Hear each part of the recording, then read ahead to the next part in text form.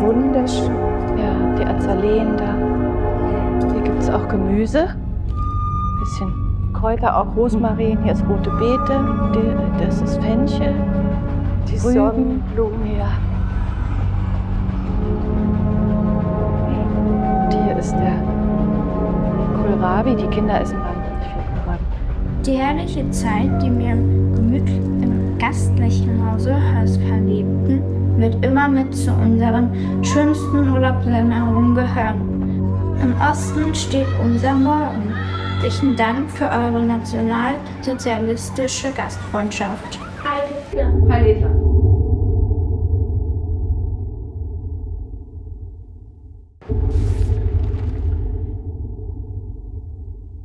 Hi,